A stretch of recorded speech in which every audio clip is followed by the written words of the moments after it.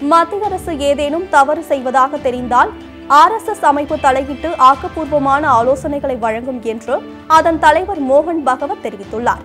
உத்தரப்பிரதேச மாநிலம் கான்பூரில் ஆர்எஸ்எஸ் அமைப்பின் சார்பில் பொதுக்கூட்டம் நடைபெற்றது. இதில் கலந்து கொண்டு பேசிய மோகன் பாகவத் ப- பாஜனதா தனி பெரும்பான்மையுடன் ஆட்சி அமைத்ததால் கிடைத்துள்ள அதிகாரம் தவறுதலுக்காக வழிவகுத்துவிடக் கூடாது என்றார். ஜனநாயக ரீதியாக தேர்ந்தெடுக்கப்பட்ட எந்த அரசும் அதிகாரத்தை தவறாக பயன்படுத்துவதிலிருந்து காக்கப்பட வேண்டும் என்றும் அவர் வலியுறுத்தியுள்ளார். திருவள்ளூர் அருகே டாஸ்மாக் மதுபான கடையின் பூட்டை உடைத்து ஐம்பதாயிரம் மதிப்பிலான மது பாட்டில்கள் கொள்ளையடிக்கப்பட்டுள்ளன. திருவள்ளூர் மாவட்டம் கும்மிடிப்பூண்டி சாமிரெட்டி கண்டிகை கிராமத்தில் அரசு டாஸ்மாக் மதுமான கடை உள்ளது. நேற்றிரவு கடையின் பூட்டை உடைத்து உள்ளே நுழைந்த மர்ம நபர்கள் ஐம்பதாயிரம் ரூபாய் மதிப்பிலான முன்னூறு மது பாட்டில்களை கொள்ளையடித்து சென்றனர். கடைக்குள் இருந்த பாதுகாப்பு பெட்டகத்தை உடைக்க முயன்றதால் உள்ளே இருந்த மூன்று லட்சத்தி எண்பதாயிரம் ரூபாய் தப்பியது. கொள்ளை குறித்து போலீசார் விசாரணை நடத்தி வருகின்றனர்.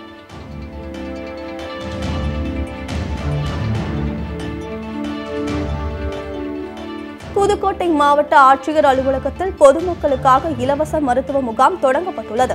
புதுக்கோட்டை மாவட்ட ஆட்சியர் அலுவலகத்தில் வாரந்தோறும் மக்கள் குறைதீர் கூட்டம் நடக்கிறது.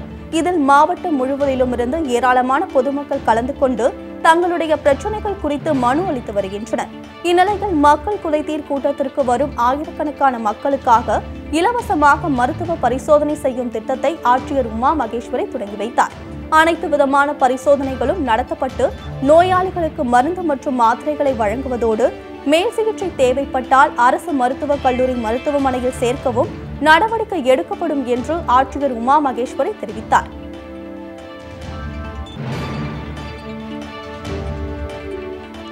விருதுநகர் மாவட்டம் அருப்புக்கோட்டை அருகே சாலை கடக்க முயன்ற ஐந்து வயது சிறுவன் இருசக்கர வாகனம் மோதி பரிதாபமாக உயிரிழந்தார். சுந்தரபாண்டியனின் ஐந்து வயது மகன் கிருத்திக் அருப்புக்கோட்டை அருகே பொம்மக்கோட்டை கிராமத்தில் உள்ள தனது பெரியம்மா வீட்டில் தங்கியபடி அங்குள்ள தனியார் பள்ளியில் பயின்று வந்தார். இந்நிலையில் தனது தாயை பார்ப்பதற்காக பெரியம்மாவுடன் சென்றுள்ளார். அப்போது சாலையை கடக்க முயன்ற போது அதிவேகத்தில் வந்த இருசக்கர வாகனம் ஒன்று சிறுவன் மீது மோதிவிட்டு நிற்காமல் சென்றது. இதில் தூக்கி வீசப்பட்ட சிறுவன் தலை மற்றும் காலில் பலத்த காயமடைந்து மருத்துவமனையில் சிகிச்சை பலனின்றி உயிரிழந்தார். விபத்து ஏற்படுத்திய இருசக்கர வாகனம் குறித்து போலீசார் விசாரித்து வருகின்றனர்.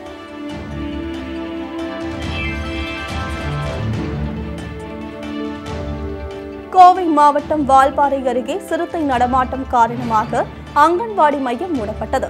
வால்பாறையை அடுத்த குரங்குமுடி பாரதிதாசன் நகரில் தேயிலை தோட்ட தொழிலாளர்களின் குழந்தைகளுக்காக அரசு அங்கன்வாடி மையம் செயல்பட்டு வருகிறது. இந்த நிலையில் கடந்த சில நாட்களாக இந்த பகுதியில் சிறுத்தை நடமாட்டம் அதிகரித்துள்ளது. குடியிருப்பு பகுதியில் நுழையும் சிறுத்தை ஆடு மற்றும் கோழிகளை கொன்று தின்கின்றன. தற்போது அங்கன்வாடி அமைந்துள்ள பகுதியில் சிறுத்தை நடமாட்டம் காணப்படுகிறது. இதனால் குழந்தைகளின் பாதுகாப்பு கருதி அங்கன்வாடி மையம் மூடப்பட்டது. வனத்துறையினர் விரைவான நடவடிக்கை மேற்கொண்டு சிறுத்தையை கூண்டு வைத்து பிடித்து அடர் வனப்பகுதிக்குள் விட வேண்டும் என்று பொதுமக்கள் வலியுறுத்தியுள்ளனர்.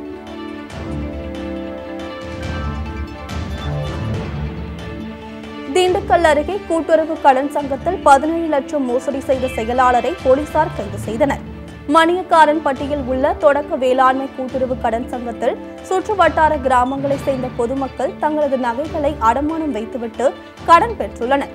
பின்னர் அதற்கான பணத்தை திருப்பி கொடுத்துவிட்டு வங்கியிலிருந்து நகையை மீட்டுள்ளனர். இவ்வாறு கொடுக்கப்பட்ட சுமார் பதினேழு லட்சத்தி முப்பத்தி ஏழாயிரம் ரூபாய் பணத்தை கூட்டுறவு சங்கத்தின் செயலாளர் முருகன் எழுத்தர் வாசகி நகை மதிப்பீட்டாளர் மகாலட்சுமி ஆகியோர் மோசடி செய்துள்ளனர்.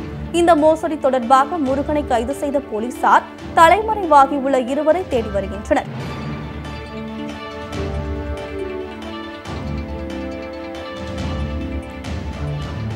திண்டுக்கல் அருகே விராலிப்பட்டி கிராமத்திற்கு அரசு பேருந்து வருவதில்லை என கூறி சுமார் நூற்றுக்கும் மேற்பட்ட பெண்கள் மாவட்ட ஆட்சியர் அலுவலகத்தை முற்றுகையிட்டனர். கடந்த ஒரு வருடமாக சரியான நேரத்திற்கு பேருந்து வரவில்லை என்றும் இதனால் பள்ளிக்கு செல்வோர் வேலைக்கு செல்வோர் என அனைத்து தரப்பினரும் பாதிக்கப்படுவதாகவும் அவர்கள் வேதனை தெரிவித்தனர். இதையடுத்து மாவட்ட ஆட்சியர் வினையை நேரில் சந்தித்து சரியான நேரத்திற்கு அரசு பேருந்தை இயக்க வலியுறுத்தி மனு அளித்தனர்.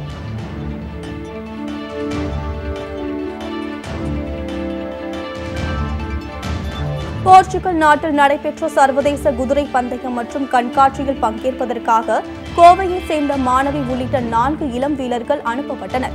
Portugal Spain England Ireland Sweden Norway Switzerland Brazil மற்றும் இந்தியா என ஒன்பது நாடுகள் சார்பில் முன்னூற்று இருபது குதிரைகள் கண்காட்சியில் பங்கேற்றிருந்த சூழலில் குதிரை சவாரி போட்டியும் நடத்தப்பட்டது.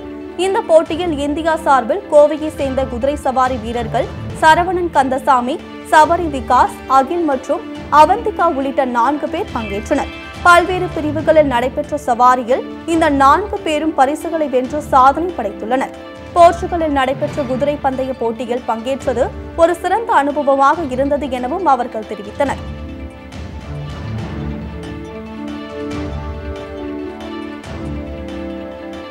வேலூர் மாவட்டம் குடியாத்தம் அருகே உள்ள பள்ளிக்கொண்டாமின் அலுவ மின் அலுவலகத்தில் நுகர்வோர் பயன்படுத்தும் ரீடிங் அட்டையில் மத பிரச்சாரம் விளம்பரம் அச்சிட்டு நுகர்வோருக்கு வழங்கியதை கண்டித்து நூற்றுக்கும் மேற்பட்ட இந்து முன்னணியினர் முற்றுகை போராட்டத்தில் ஈடுபட முயன்றனர்.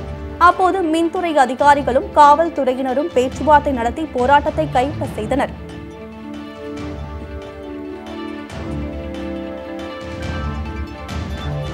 வேலூர் மாவட்டம் கசிநாயக்கம்பட்டி அருகே அடையாளம் தெரியாத வாகனம் மோதியதில் ஒருவர் உயிரிழந்தார். சின்ன கசிநாயக்கன்பட்டி பகுதியைச் சேர்ந்த இருவர் இருசக்கர வாகனத்தில் திருப்பூர் நோக்கி சென்று கொண்டிருந்தனர். அப்போது கிருஷ்ணகிரி பெங்களூரு நெடுஞ்சாலையில் அடையாளம் தெரியாத வாகனம் இருசக்கர வாகனம் மீது மோதிவிட்டு சென்றது.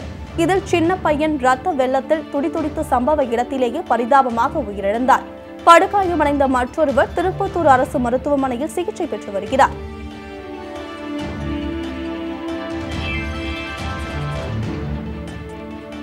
மின்சாரம் தாக்கி இறந்தவருக்கான இழப்பீட்டுத் தொகையை பெற்றுத்தரக் கோரி கோவை மாவட்ட ஆட்சியரிடம் குடும்பத்தினர் மனு அளித்தனர். கோவை வடவள்ளி பகுதியில் வசித்து வந்த பெரியசாமி என்பவர் கட்டிடம் கட்டும் பணியாளராக இருந்துள்ளார். கடந்த ஆண்டு ஓண்டிப்புத்தூர் அருகே கட்டுமான பணியின் போது மின்சாரம் பாய்ந்து அவர் உயிரிழந்தார். இது தொடர்பாக வீட்டின் உரிமையாளர் மாணிக்க வாசகம் என்பவர் இழப்பீட்டுத் தொகையாக ஆறு லட்சம் ரூபாய் கொடுப்பதாக கூறியதாக தெரிகிறது. ஆனால் அந்த பணம் கிடைக்காமல் மூன்று குழந்தைகளுடன் கஷ்டப்படுவதாக கூறும் பெரியசாமியின் மனைவி லக்ஷ்மி இழப்பீட்டுத் தொகையை பெற்றுத்தர உதவ வேண்டும் என்று மாவட்ட ஆட்சியரிடம் மனு அளித்தார்.